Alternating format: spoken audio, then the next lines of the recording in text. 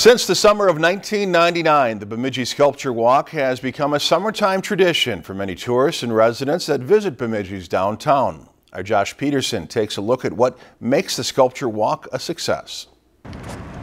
Take a stroll downtown Bemidji and you will meet some interesting characters. Some silly, some majestic, and some that reach high into the sky. These characters will cause you to pause, think, maybe even laugh, doing exactly what the Bemidji Sculpture Walk board wants the various pieces of art to do. I just think we have some real fun pieces this year um, that will appeal to almost anybody and everybody. Art can be seen in many different ways. Sometimes we know exactly what it is, and sometimes we don't. Sometimes art can be freestanding, and sometimes art can just be practical. But it's a combination of all those things that makes the Bemidji Sculpture Walk a key to success.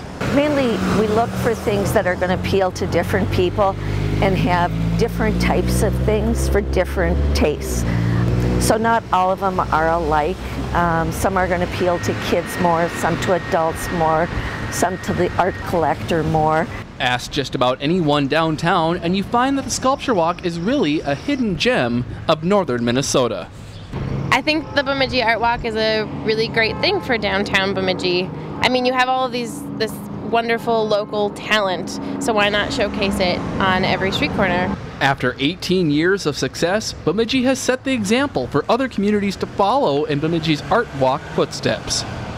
For Lakeland News, I'm Josh Peterson. If you're interested in owning a piece of Bemidji's Sculpture Walk, the Sculpture Walks Board will be hosting a Dragonfly auction. That'll be held June 11th from 5.30 until 7.30 p.m. at the Rail River Folk School. If you've enjoyed this segment of Lakeland News, please consider making a tax-deductible contribution to Lakeland Public Television.